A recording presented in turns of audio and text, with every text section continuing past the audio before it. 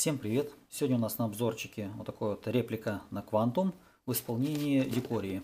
Комплектуется нож вот такой сумочкой с логотипом Декория.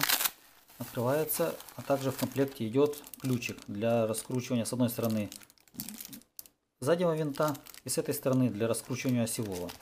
Сумочка пошита такой из неона, имеет возможность крепления на пояс или на рюкзак куда-нибудь.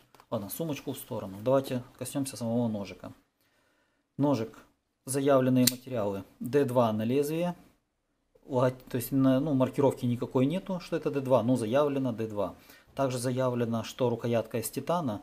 Но вот я не знаю, такая обработка титана и вот по ощущениям ну, скажем так, не совсем обычный титан. Тут какой-то сплав хитрый. Я его первый раз встречаю. Возможно, эта обработка такая типа пескоструйности дает о себе знать. Но в руке лежит, я бы сказал, больше на алюминий похоже, конечно. Но опять же, спорить не буду, утверждать не буду. Присутствует сухарик. Сухарик заходит на начало пяточки. Присутствует такой короткий бэкспейсер. Есть темлячное отверстие, возможность повесить темляк. Нож собран всего, грубо говоря, один винт и осевой в середине вот такая вот обработка продольный сатин, рукоятка. На клинке нанесен поперечный сатин. Есть выборка, но не сквозная. В принципе, как на оригинале. Присутствует насечка. В руке нож лежит отлично.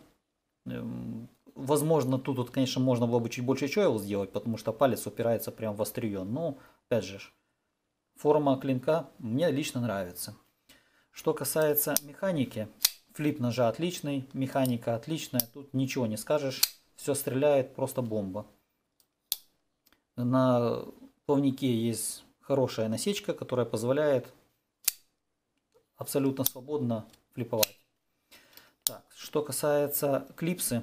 Клипсы у нас, я бы сказал, средней жесткости. Поднята не сильно высоко, поэтому на карман садиться будет, ну не скажу, что легко, скажем так. На зимние брюки или на что-то навряд ли будет удобно садить. А на шорты и на какие-то легкие летние штаны без проблем. Давайте посмотрим параметры ножика. Ну, еще, кстати, вот так он выглядит, размер его в сравнении с 95-м. То есть они абсолютно одинаковые, чтобы было понятно. Это пропорции ножа. Ну, а теперь сухие цифры. Общая длина у нас ножа 22 сантиметра, длина режущей кромки ровно 10 сантиметров сложном состоянии ножик у нас 13 сантиметров. Что касается толщины по обуху, то в самом толстом месте у нас 3, ну, 4 миллиметра. Толщина ножа вместе в клипс, с клипсой 14,6. Без клипсы 12,5. Вес ножика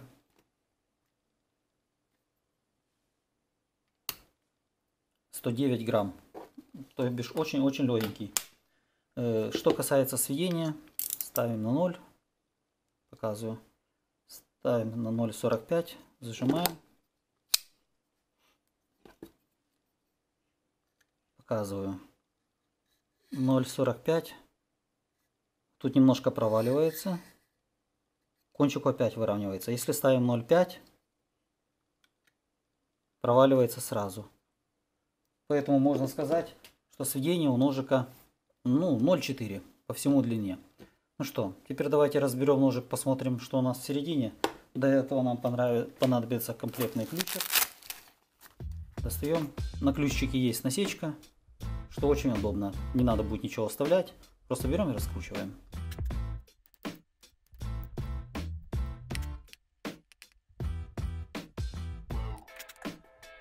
Ну вот, ножик раскручен. Разбираем. Бэкспейсер, как я говорил, теплячное отверстие.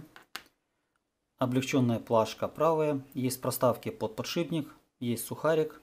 Сухарик вставлен керамический шарик. Ну, клипса крепится изнутри двумя винтами. Сам клинок, то есть ножик собран на однорядном подшипнике. Шарики у нас керамические. По крайней мере, давайте проверим. Ну, не магнитятся, то есть шарики керамические. Правда, подшипничек маленький, однорядный. Хотелось бы, конечно, сюда побольше, но в связи с конструктивом ножа, что стопорная бонка обыграна здесь вот таким вот образом. Давайте вот так, да? Вот таким образом. Сюда поставить, в принципе, больше подшипник, ну, будет сильно проблематично. С этой стороны вот так вот клинок выглядит. Ну и левая плашка. Тоже однорядный подшипник, облегчение. Тут, как говорится, сильно показывать нечего. Есть вот такая вот тут пластиковая проставка. Что с этой, что с другой стороны. Вот с этой, да?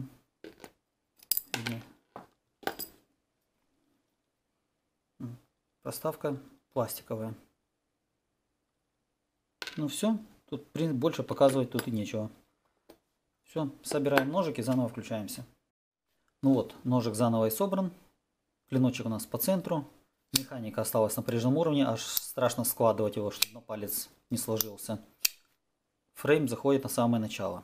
Что можно сказать по ножику? Понравилась обработка. Я понимаю, что сатин не совсем практично, что на нем быстро останутся царапины, но смотрится чертовски хорошо. Вот прям когда он новый из коробки, выглядит отлично. Плюс сочетание поперечного сатина, а особенно мне понравилось на рукоятке этот продольный. Да, он пошарпается быстро, но пока нож новый, придает ему своеобразного шарма. Вообще, по исполнению к ножу, конечно, проблем никаких нету. Все подогнано, все вылизано, фрезеровка на высшем уровне, все классно. Единственное, что, конечно, мне бы хотелось бы посмотреть бы такую же версию от Гринторна в премиальном исполнении. С М390, я думаю, они бы туда впихнули какое-нибудь анодированное вот это вот обрамление осевого, что-нибудь еще как-нибудь его, что-нибудь придумать такую интересную изюминку. А так, нож, скажем так, вживую выглядит, вот мне, например, больше нравится, чем на картинке. Я его так на картинке туда-сюда рассматривал, а вживую он мне понравился. Не совсем привычно, что э, узкая рукоятка, но зато вес 110 грамм для ножика, для лета, то, что нужно при полноценном клинке. Ну, тут дальше больше сказать в принципе нечего. Форма клина красивая. Лично мне понравился нож. Ладно, спасибо. Надеюсь, кому-то было интересно и поможет определиться.